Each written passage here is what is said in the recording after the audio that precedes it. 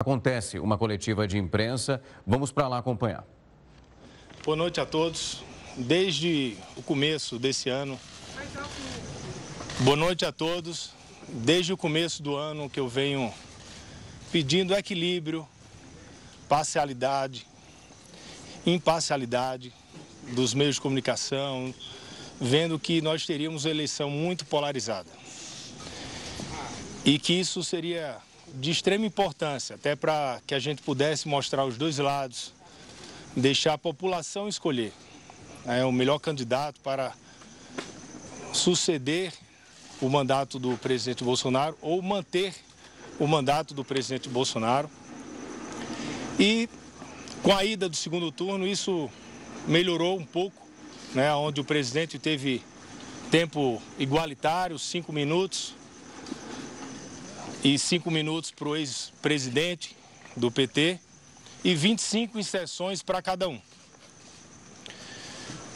E a gente conseguiu mostrar, né, ao longo desses dias, o que o governo tem feito e sair um pouco né, de desmentir diariamente fake news usando o quê? Usando a TV e usando as inserções de rádio que nós sabemos que, que é a grande fonte de notícia primária dos eleitores, principalmente na região nordeste do país. Pois bem, na semana passada, nós recebemos uma denúncia de que rádios estariam publicando mais inserções do PT do que as inserções do presidente Bolsonaro. E na mesma semana, nós tivemos ali uma grande discussão quando nós perdemos 118 direitos de respostas. Isso comoveu muita gente, principalmente eleitores do presidente Bolsonaro que sabem e estão vendo que a campanha do PT, principalmente no segundo turno, está com um nível de fake news e um nível muito mais baixo, que não passa nem de longe do que a nossa campanha, que está muito mais propositiva. Mas seguimos em frente. Pedimos também os nossos direitos de resposta, que estão, que estão sendo julgados. E aí, hoje, pela manhã, após essas denúncias que nós fizemos, contratamos uma auditoria. Eu, hoje à tarde, fui entregar informalmente para o presidente do TSE. O, o nosso advogado já entrou com o primeiro pedido no TSE. E pasmem a vocês agora, que ficaram impressionados com o número de 118 inserções de rádio, a menos do segundo turno. Eu quero dizer a vocês que após as auditorias que forem, foram feitas no Brasil inteiro dos últimos 15 dias, que nós protocolamos no TSE hoje, que era o número de manhã apenas na região Nordeste, de uma semana, hoje foi protocolado de manhã de 7 a 14.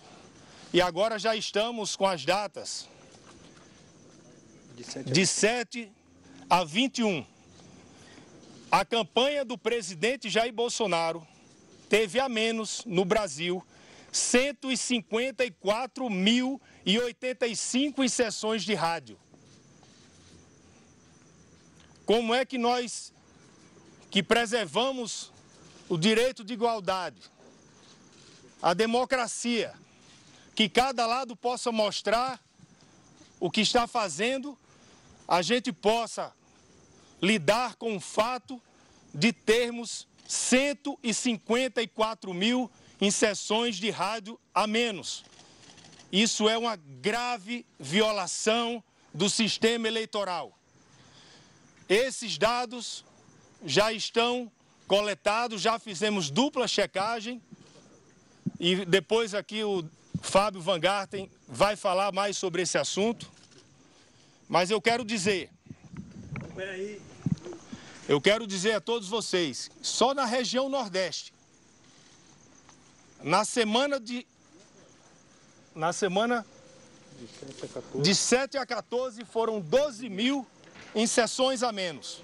E na semana seguinte, de 14 a 21, esse número foi para mais de 17 mil.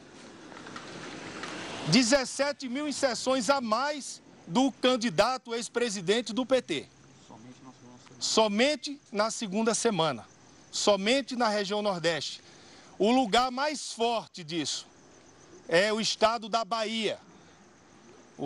o estado da Bahia, só na primeira semana, foram mais de 7 mil a mais para o candidato do PT. Então, quero dizer a vocês que estão estarrecidos com tudo que tem acontecido, com a censura, com o cerceamento, que vocês precisam ir votar. Porque nós estamos sendo cerceados. E a... Estamos acompanhando então essa movimentação em Brasília, onde o ministro das Comunicações marcou essa coletiva para falar sobre uma investigação realizada pela campanha sobre as inserções, aquelas propagandas de cada campanha dentro das rádios. De acordo com o que foi apresentado por ele, está sendo investigado uma possibilidade de um corte envolvendo o que aconteceu com o presidente Bolsonaro. A gente continua acompanhando essa história e vai trazendo atualizações ao longo da programação.